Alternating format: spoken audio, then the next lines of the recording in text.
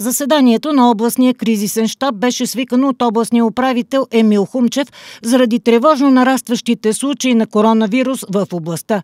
14-дневната заболяемост се е увеличила с 200 пункта и по данни на Рези вече е над 430 на 100 000 души население. Доста дълго обсъждахме ситуацията и готовността на болниците. Погледнахме, опитахме се да погледнем от всички страни какво може да направим като институции, за да предотвратиме това да се случи. Решено е да се засили контролът за спазване на противоепидемичните мерки, като се обърне особено внимание на транспортните средства, автобуси и таксита, контролът в училища и детски градини, лечебни заведения, рискови зони.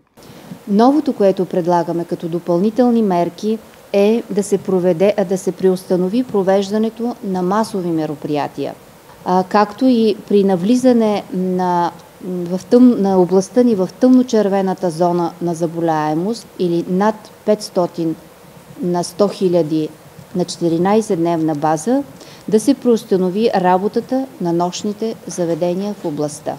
От щаба призоваха колкото се може повече хора да се вакцинират.